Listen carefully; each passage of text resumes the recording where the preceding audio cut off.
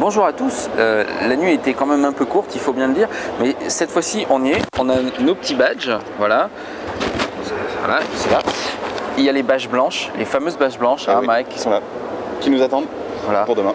Et les bâches noires, euh, noires et blanches made in Normandie toujours, sont euh, en bas. Mais ça pour l'instant on peut toujours pas se faufiler hélas.